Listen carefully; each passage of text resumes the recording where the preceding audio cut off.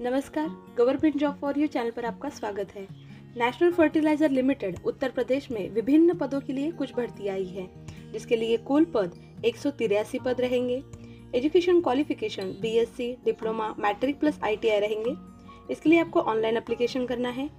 Application करने के लिए लास्ट डेट टेंथ नवंबर 2021 रहेगा।